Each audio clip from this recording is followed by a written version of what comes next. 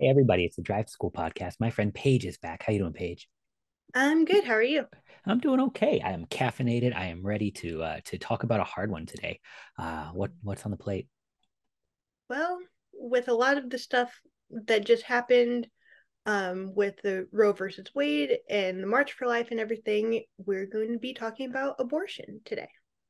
All right, let's talk about abortion today. So, a lot of people kind of, when they think about abortion, all they think of is like the elective termination of a pregnancy. This person is so evil, they're killing their child. It's like, mm-hmm. but that's that's not quite the appropriate response. It's like I understand where you're going with it because it's like, okay, yeah, it's wrong to kill a child. Always wrong to kill a child.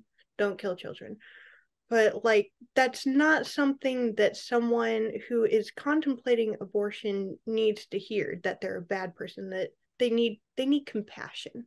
So i think it's a good thing to talk about like hmm. the compassionate part of like women who are looking to have an abortion usually they're scared. They don't know like maybe they don't have they think that they don't have any monetary support for this child or they're not in a position where they think that they can properly care for a child. So they think that the um, most i guess like humane thing for the child is for it to not be born. And um, that's where you kind of really have to come in and recognize that hey this is a scary situation and these women need love and compassion Right. You you talked about compassion. It's actually it's interesting. We can talk about uh, the, the science of it. That uh, it's not even complex. Like if a mommy puppy and a daddy puppy love each other very much and have babies after getting married, they're going to have more puppies. And if if a, a mommy person and a daddy person love each other very much after getting married, they're going to have a, a baby. That it's a human being. But I think compassion is actually sort of the the talk because what you're hoping is that the the parents of this child would show their child compassion and if you want to create compassion in somebody, yelling at them might not be the best approach. Like you should have compassion, but I don't need to because you're wrong. Um, is maybe not sort of the the best approach, and it's absolutely not one that that talks about grace or mercy or forgiveness or offers any kind of peace to anybody who, you're right, might just be in a, a really tough situation that doesn't make it okay. But what they need then, what they need then, might actually be compassion too yeah because we we all get so quick on our high horse being like i had never considered an abortion. I'd never have that. I can't believe you would ever think that that's a good thing. And that's not a very compassionate response. You want to also um empathy is something that's definitely needed in a situation like this. You want to kind of say okay where is this person coming from what mm-hmm. is the thing in there? Obviously the baby is could be considered in this point like a stressor or what is going on and how can we help ease that and really support the person? Like we're not trying to tear them we don't want to tear them down by saying you're evil because you're considering this. We want to be like okay you're considering this but why? What can we do to help? Right because there should be a better option and and if we can we we want to try and be a part of that better option. Uh, when we when we talk about this then um, it, it, falls back on that same thing. We keep that that bell we keep ringing. There's a difference between winning and helping. Um, winning is about you and you might feel very good about yourself for for telling somebody they're making a bad choice making an evil choice. Um, but if you're offering no help um, that's that's not compassion that's quite frankly that's not christianity um, jesus gives to us not only the, the answers of right and wrong, but the mercy for when we are ourselves wrong, either in heart or in deed.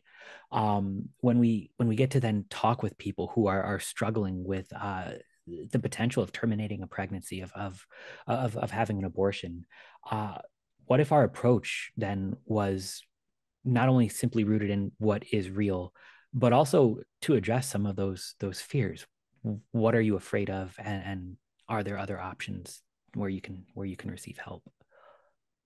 Definitely. And um i think it kind of gets swept under the rug but there are so many good organizations out there that will help women like everyone hears about Planned Parenthood and how they're supposedly there for the choice of the woman and everything, but I can't think of the last time I've heard Planned Parenthood and saving a baby in association with each other but that's not it's not really the point. The point is is that planned parenthood isn't the only option. There's other like let them live or live action or hearts of hope or something like that's a local organization something like that where you can go and get maybe a second opinion if you've already been to planned parenthood. Or if you really know that this decision you want to keep the baby but you're feeling like you're backed into a corner these places can help. Your church can help. Like there's so many different you i mean it sounds really kind of nuanced but google it there's always something around that you can really lean into the support of a community with other women who are going through the same thing and with people who are really out here to try and help and ease that burden and give you life and light and hope.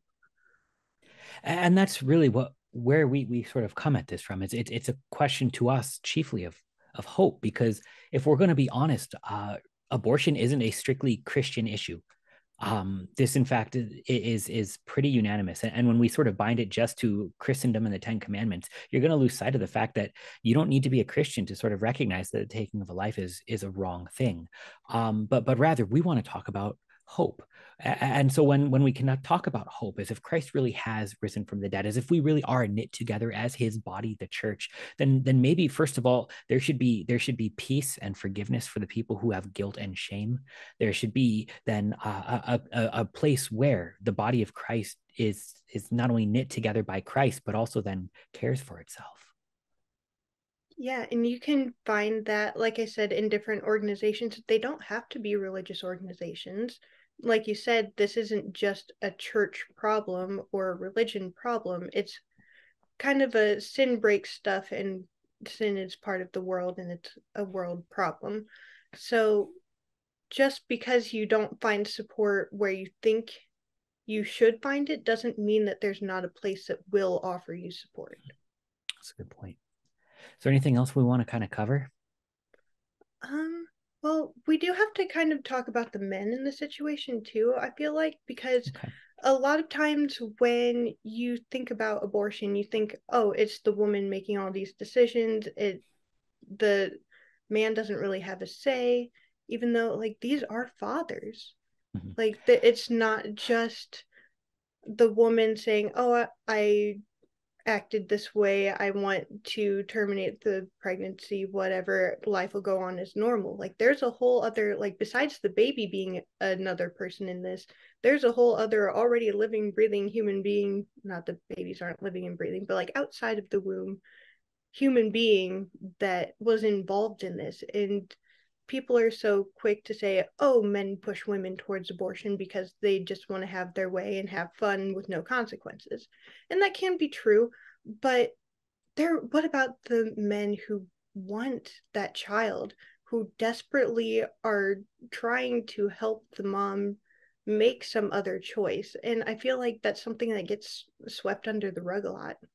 I think kind of in both cases, uh, we we sort of have lost the ability to speak about family as if it's a blessing. Um, this is maybe actually the, the place where our small catechism really starts to understand this. When it when it talks about the sixth commandment, it's not that there are uh, bad things that we shouldn't do uh, when it comes to adultery, when it comes to to sexuality, but it's that first and foremost we should understand that marriage is a good gift from God, that family is a good gift from God, that children are a good gift from God. Um, and, and when we start to understand that, then to the the fathers who won't be fathers, we we can actually say, why are you running from this it's actually a good thing. And to those who actually you know want to to have this family that that is not given to them anymore we we have a place then to to have a conversation with the the entirety of the family the mother the father that that also involves the child that what if family was a good thing? It's not always an easy thing. We we have to acknowledge that. And so that's why there's community to help families out. Um, but if we can't first and foremost speak about family as a good thing i understand why some people would run from it.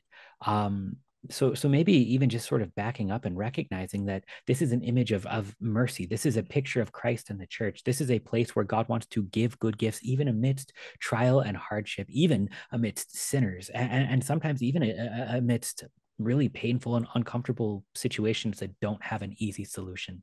But but if family is a good thing where god would actually use us uh, his uh, use us us his his people to to lift each other up to strength and to forgive each other to to grant strength to each other it becomes a, a different kind of joy.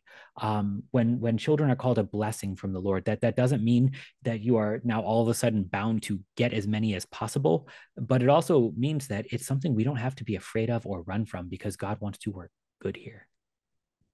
Yeah, and I think people lose sight of the God wants to work good, like a child is a blessing. They just see the child as a burden, and it's a blessing for both mother and father. So that's definitely something that really needs to be um, kept in mind and be mindful of when you're talking about abortion. It's not just a one and done person like one person made this decision the other person isn't there like it's a whole family issue and it should be treated as such and it should be treated again with compassion and with hope. Absolutely. Uh, let's end on that word hope. Paige thanks so much. Thank you